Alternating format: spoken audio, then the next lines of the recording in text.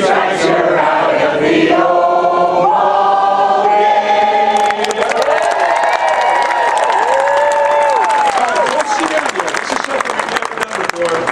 See you guys were having a sing-along. I thought we would uh, add another song. Okay, we do have a song historical, and we play it every time a giant hits a home run, and it's Bye Bye Baby, right? Okay, so your part is Bye Bye Baby. And you guys know that. So I'm going to sing the line, and then I'm going to give you the cue. For example, I'll say, When the Giants come to town, it's Bye Bye Baby. This is going to be really good. All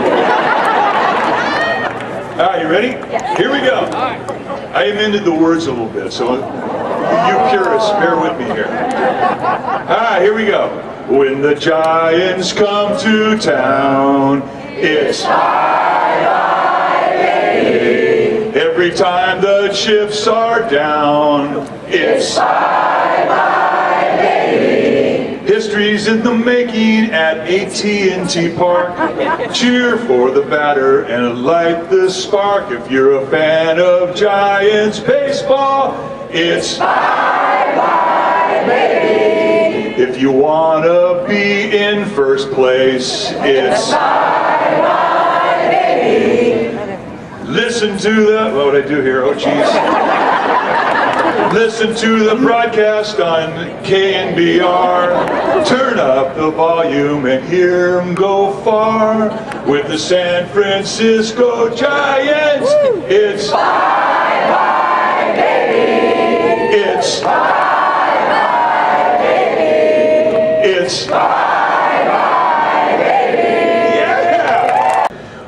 wife Jennifer and I were going back to the room, and uh, we get on the elevator, and there's Buster Posey and uh, a couple other ball players. Now, this is Buster's rookie year, right? Now, I'm thinking to myself, I waited 11 years to get to him. so I looked at Buster and I said, Hey, I hope you appreciate this. This doesn't happen every year. And Buster said, Why not? And I didn't have an answer for him. But it's become our culture. Every year we expect to go.